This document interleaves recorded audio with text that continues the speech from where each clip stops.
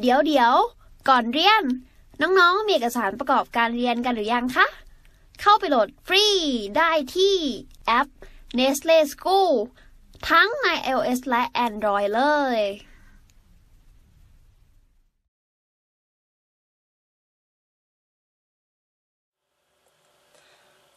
ต่อไปข้อที่ 3 ที่จอดรถของศูนย์การค้าแห่งหนึ่ง มีพื้นที่ไม่เกิน 8,000 ตารางเมตร และจะต้องแบ่งเป็นทางวิ่งรถ 950 ตารางเมตร ถ้ากำหนดให้พื้นที่สำหรับจอดรถคันหนึ่ง เท่ากับ 20 ตารางเมตร ที่จอดรถแห่งนี้ จะให้บริการกับรถที่ลูกค้านำมาจอดได้มากที่สุดกี่คันคือเหมือนกับข้อนี้เนี่ยเขาต้องการบอกว่าเขามีศูนย์การค้า ซึ่งศูนย์การค้าที่นี้เนี่ยมีพื้นที่ไม่เกิน 8,000 ตารางเมตร โดยพื้นที่ของศูนย์การค้าเนี่ยเขาจะทุ่งต้องแบ่งออกมาเป็น 2 ส่วน แบ่งแบบส่วนแรกนะ คือจะเป็นทางวิ่งรถ ซึ่งบอกมาเลยว่ามี 950 ตารางเมตร แต่ส่วนที่ 2 เนี่ย เป็นพื้นที่สำหรับจอดรถ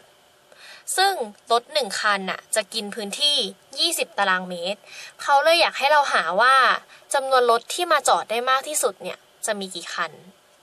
อะ งั้นเราก็จะมาเริ่มดูกันเลยว่า พื้นที่ทั้งหมด มันจะต้องแบ่งเป็นสองส่วน ก็คือเป็นพื้นที่ของทางวิ่งรถกับพื้นที่จอดรถ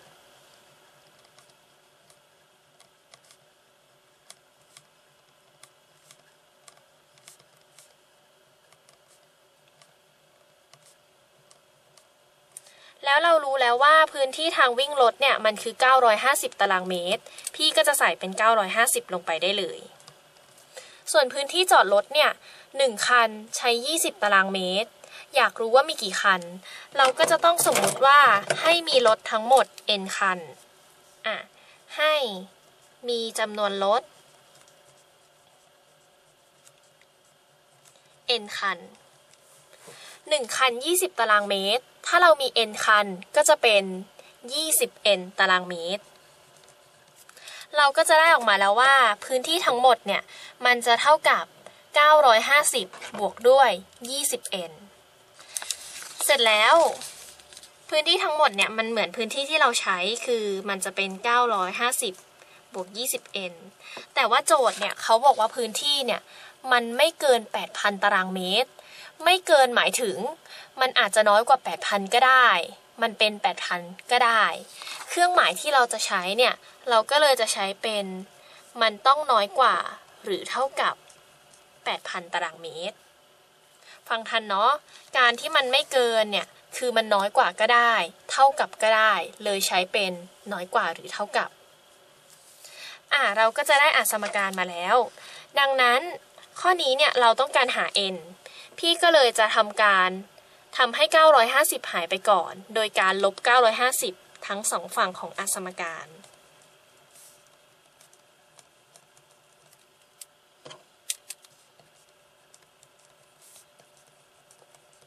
ฝั่งซ้ายเนี่ย ก็จะได้ว่า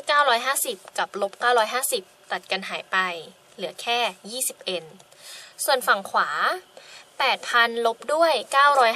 950 จะมีค่าเป็น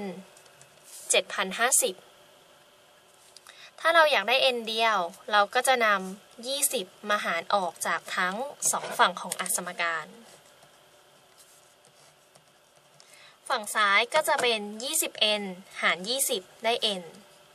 ส่วนฝั่งขวาก็จะเป็น 7,050 หารด้วย 20 เราก็จะตัดศูนย์ออก ก่อนได้เป็น 705 หาร 2 ซึ่ง 705 หาร 2 เนี่ย มันจะได้เท่ากับ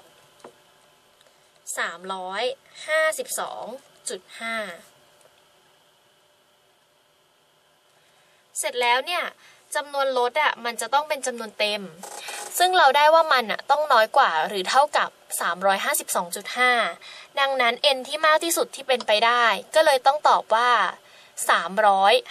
352 คัน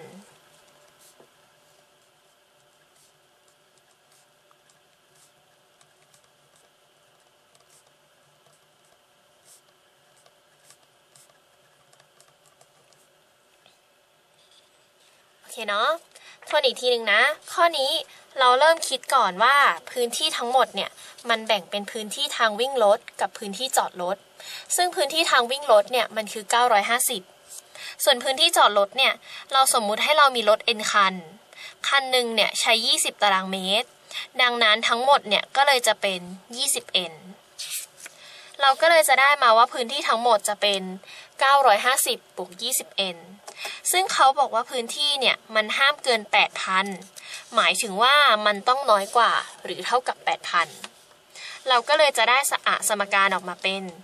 950 บวก 20n น้อยกว่าหรือเท่ากับ 8,000 ซึ่งสุดท้ายเมื่อเราแก้อสมการออกมาเนี่ย เราจะได้ว่า n ของเรา มันต้องน้อยกว่าหรือเท่ากับ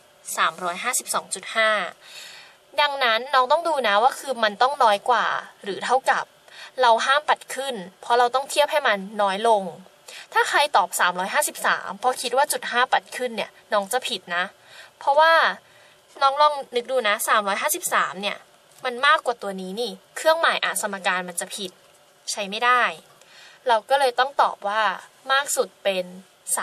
352 คันนั่นเอง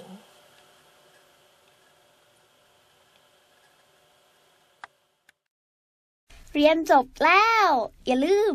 เข้าไปฝึกทำข้อสอบแบบจับเวลา ในแอป Nestle School กันด้วยนะจ๊ะ ถ้าน้องๆมีคำถามสงสัย ไม่เข้าใจตรงไหน ถามว่าในแอปได้เลย แล้วพี่ๆจะรีบเข้าไปตอบให้นะคะ ดูคลิปถัดไปเป็นกำลังใจให้นะคะ